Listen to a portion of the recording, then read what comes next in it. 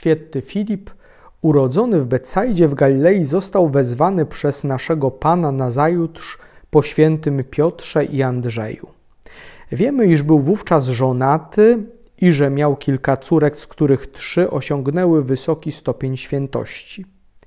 Podobnie jak inni apostołowie, także i Filip zostawił wszystko i poszedł za Chrystusem. Jego imię jest kilkakrotnie wspominane w Ewangelii świętego Jana. Po wniebowstąpieniu boskiego mistrza święty Filip głosił Ewangelię w części Azji Mniejszej, zwanej Frygią, która była wówczas prowincją Cesarstwa Rzymskiego. Prawdopodobnie został pochowany w Hierapolis we Frygii. Święty Jakub Mniejszy był synem Alfeusza i Marii, która mogła być siostrą Najświętszej Maryi Panny lub też siostrą świętego Józefa. U Żydów i Rzymian nadawano siostrom wspólne imiona i bratem świętego Judy Tadeusza, stąd obu nazwano braćmi Pana.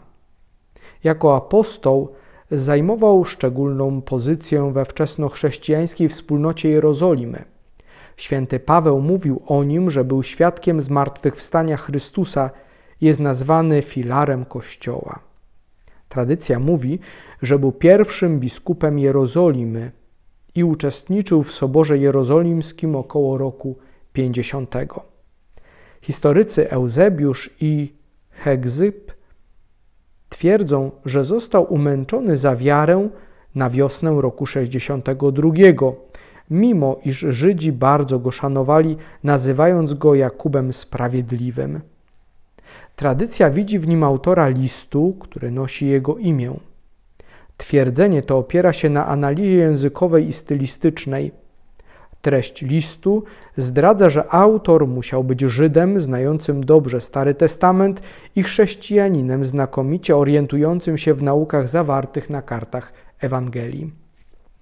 Daty powstania listu nie da się dokładnie określić. Według niektórych uczniów został napisany około roku 49. Inni twierdzą, że jest późniejszy w stosunku do listu apostoła Pawła do Rzymian, napisanego w zimie 57 do 58. Prawdopodobnie powstał między rokiem 60 a 62. Święty Jakub zwraca się do dwunastu pokoleń w rozproszeniu, to znaczy chrześcijan spoza Palestyny, ale nic nie wskazuje, że ma na myśli tylko judeo-chrześcijan. Autor zdaje sobie doskonale sprawę z pokus i trudności, jakie chrześcijan napotykają wśród pogan. Jako ojciec duchowy stara się umacniać ich wiarę i kierować ich postępowaniem. Istotą listu są praktyczne wskazówki życia chrześcijańskiego.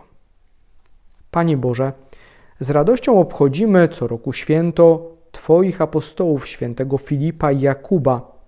Pozwól, abyśmy za ich pośrednictwem wzięli udział w męce i zmartwychwstaniu Twojego Syna i zasłużyli sobie na życie wieczne w niebie, gdzie Ty żyjesz i królujesz na wieki wieków. Amen.